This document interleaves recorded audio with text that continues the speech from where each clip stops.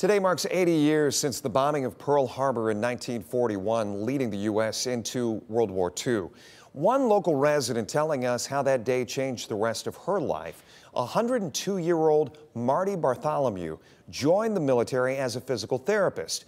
And as the healing of Japan and the U.S. began, she saw a new way to look at things we would do things. It became, he became friendly after the background, which was so horrible, seemed it started to smooth away with families.